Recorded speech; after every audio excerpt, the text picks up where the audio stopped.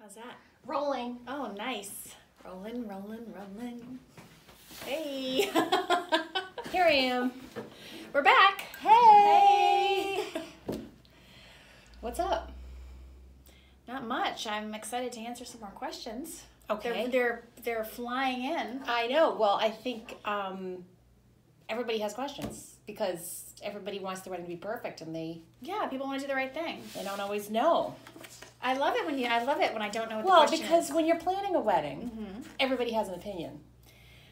yes, a lot of- Friends, your yeah. family, whatever. But it's like, well, they don't know because they haven't done it either. So you want to ask professional. Hey, that's Which- where we come in. We've been around the block. We've been we've been around for a long time. We're definitely professionals when it comes to weddings. yes, Okay, you ready? I am. I'm so excited. I don't know what it says, and I can't wait. All right, our latest installment of Ask the Snappers. I'm ready. Dear Snappers, That's us. Mm-hmm. I wanted to ask you about your thoughts on makeup. I don't mm. normally wear much. I prefer a natural look and I want to look like myself on the wedding day. Mm-hmm. But what is best for photos? Also, Oh, I'm undecided about wearing a veil and jewelry because I'm more plain and don't want to overdo it. Thanks for your help. Natural and Narragansett. Aw. Well, I would say that we're we're we're both in the semi-natural camp of things, so I can relate to somebody who doesn't want to be over Yeah, the top yeah. with their hair and make, like you know, hair and makeup. Well, I think that sometimes it's funny. There's so many things about a wedding that I think makes people think it's going to look like the 80s. Yeah. Like I, I don't it's weird. It's like that era of weddings was so over the top. well, it traumatized people. That people are traumatized. yeah. Even if their parents got married in the 90s, they're still like people still refer to things that happened in the 80s. For example, Even if they weren't even really born in the 80s, they're No, still traumatized by that decade. insane blue or whatever mascara and like crazy eyeliner mm. and like red lips and Puffy blush. sleeves. Yeah. Yeah. puffy sleeves, a crown, and the veil that does that. Like it's really, That's not really a thing anymore, though. but nobody does that. no. You're not So- going to get tricked into that look. I think with makeup, um, you want to be camera ready. There is a difference between uh, not wearing a lot of makeup and not looking like Haggard? yeah, like you don't want to. You don't want to have a lot of makeup, but you also don't want to look like you just woke up, No. like in a bad way. I, I think know. That the natu- the natural way that you normally roll out the door in the morning is not at all the way. It's not camera It's ready. not camera ready. It's No, not. and and the professional people that do makeup do an amazing job, and you can say I want a natural look, and they'll put tons of makeup on you, and you'll look natural.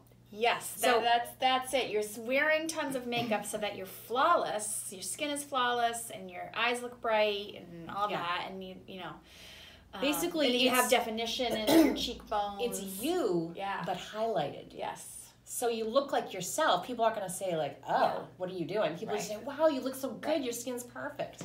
It's gonna it's going want. to feel like a lot, but it's going to look really good. And then in the photos, it's going to look yeah. really good. Do you remember that wedding that we did many years ago where we got to the house and the bride was supposed to be ready or getting ready and she was coming up from the beach after a swim Oh. and she towel dried her hair and blow dried it upside down? Yeah, she then- took a shower. She's like, I'm just gonna. She came up to the the the wedding was at their house Yeah. in Little Compton. Yes. And she came up from the beach and she said, "Oh, you guys are here. I'll just take a quick shower and I'll be out." Yeah. And she wasn't kidding. She took a shower, threw on her dress, and came out with wet hair, like and maybe lip gloss. I don't Yeah. even know if she wore lip gloss. Lip gloss and mascara is not going to cut it. It's going to take a lot you know what also that. happens? It doesn't look right. It's like you have a gown on, but then your face and your hair aren't like done up. You kind of need to You have match, to match. it all up. Your face and your body needs to be going to the same it's party. like summer afternoon yeah. hanging out, but then Right. like a formal. formal dress. Yeah. It doesn't make sense. Right. It's a disconnect. Speaking of. And I don't know that she's a person who would care, Yeah. But that was many years ago. That was also Yeah. that was a really long time ago. But I feel like nowadays, I- think everybody really cares and they really want to look their best, and they they. That's why she's asking, like, what should I do? Right. But I think you don't have to worry about looking natural. I think that that's just that is a look in makeup. Yes. And you know what is really good is that airbrush stuff they do. The Does foundation. Not come off. You can Yeah. cry on it. you Sweat, can rub it, sweating. dance. It just, it Yeah. stays on the entire. So many people have had that, and then at like ten o'clock at night, I'm like, wow, you still look Yeah. really good. The first time I saw that was um, at a Belle Mer wedding a few years back. Yeah. I remember it was Maria Lechner. If you're watching Maria, hey, yeah, great makeup. Um, and at the end of the day, I looked over at her and I and she had been dancing and running around outside and everything, and I just thought like, what is going on? Why does she still look like that? That was my first exposure to Yeah. to the airbrush. Well, because when I saw people doing it, I thought it was insane. I thought, well, okay, now that's Yeah. over the top. They're airbrushing her face. That doesn't Yeah. make any sense. Like Right. that's ridiculous. And it would seem like, oh, that's going to be too much and overdone, but it's not. It's the yeah. actually the opposite, the It's- total opposite. it's very uh, a light. It just Yeah. makes everything just smooth and so airbrush with a natural look. Yeah, if Yeah. you don't like makeup, and if you do like makeup, Hey, go for it. Lashes. you just do your thing. But yeah, Yeah. a lot of people do lashes. That's very popular now. It really does define. It gives it a nice. your eyes pop. The eyes pop. It's really, yeah. really nice. Yeah. And then in terms of like, she was also asking about a veil. So in terms of people who are more sort of plain in their in their everyday life, Yeah. not a lot of makeup, like simple clothes, like just classic style. Yeah. They feel a little funny. They feel I- a little weird or ridiculous. I veil. think that there's no such thing as a veil that's too big. I know you love a good veil.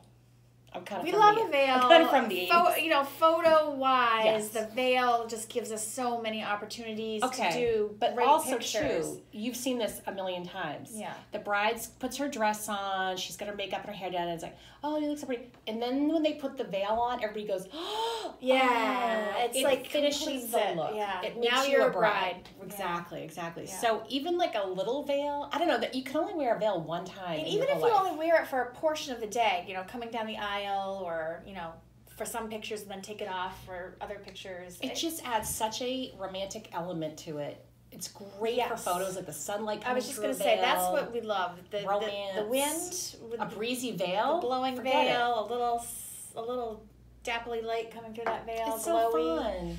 You know what Yeah. else too? It's really nice to smooth the arms. Like if you're if you Mm. feel like self conscious about your arms, It does break up that kind of gives flesh it a nice between softness. your neck and shoulder and arm. It just Yeah, well, it connects your head to your body because sometimes with uh, uh, strapless dresses are probably the most popular thing right now. Although Right. sleeves, I feel like are making a comeback. It's just yeah, slow.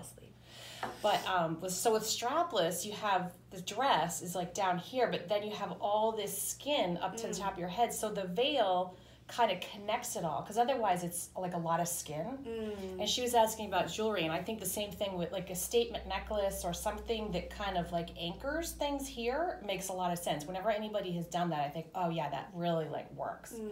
I've heard people say like, oh, my dress has bling on it, so I don't want to wear bling, but that's not. I know. I It feel doesn't like look too much. looking at the bride when she just has the dress and nothing here. It's like your your eye just keeps going down. It's like bottom heavy, Mm-hmm. and then but if you have something around your neck, it keeps your focus like here in this like really pretty pretty part. It does, Yeah. it does, and and also it's a great opportunity to wear something kind of fun, like pull the whole look together. So yes, veil, makeup, all of it. Do it all. I feel like no matter what your style is, even if you're really like classic and simple, you could still do makeup, veil, and jewelry that is your style with, eh, but yet really look great.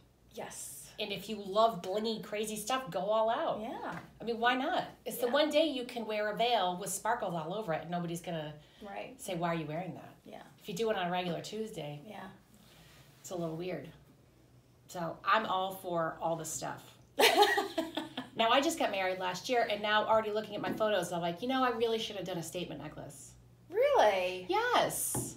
But you had you had like Yeah, you had sleeves and everything. I You know. still wish you had a necklace on. kind of. Maybe Ah. not. Maybe not too big, but Yeah. a little something. Okay. Oh, and I hated my shoes. We're not talking. She didn't ask about shoes. Oh, get fun shoes. Fun everything. I mean, I don't think I have to. Well, I think a lot of people, most people are cool with getting. I mean, that's like they're psyched to get sparkly, crazy Yes. high heeled shoes. Yes. But I don't think you have to sacrifice comfort for sparkle. Here we go. Miss Comfort shoes. Now, I mean, I'm not saying you should buy Clark She- shoes for you've your. got, you've got a you've got a bum toe. I, you know, ah. don't listen to her. Don't Okay, listen to don't her. listen to me. Get Wear yourself a pair of like sparkly tennis shoes or flip flops for the reception, but wear some kind of fun shoe, even if it hurts your feet for the wedding. Okay. Yeah, don't. Don't listen. No. Okay, so what we've learned is don't listen to me. No, up until that point. Oh, okay. good. Not all the good. time, just up until. Just up until that point. You okay, don't take any advice from me on shoes No. at all because I'm gonna go frumpy all the way. Yeah. Because I need comfort over anything, Yeah. which doesn't really look No. good. Okay, frumpy feet, but not a frumpy face. Yeah, Well, okay. We just agree on that. We'll agree on that. yeah. Okay. Yeah. All right. Sounds good. All right. Um, Narragansett. Yeah, natural and Narragansett. All right. Hopefully that was There you helpful and uh, get your get your trial makeup done and see how fabulous and get a nice big puffy veil. Yeah, wear it around the house and, And some fabulous jewelry. it so you feel more comfortable. Maybe on the day too when you go for your uh, fittings for the dress. Yeah. Maybe buy a couple of different jewelry, like let's say three different options for jewelry, and bring it when you go for your fitting because you go to the fitting pretty close to the wedding. Uh, You go a couple of times. Yeah, well, yeah, you have your So final try fitting. everything on with with the dress, Get the consensus. and then just return what you don't Yeah. use. there you go.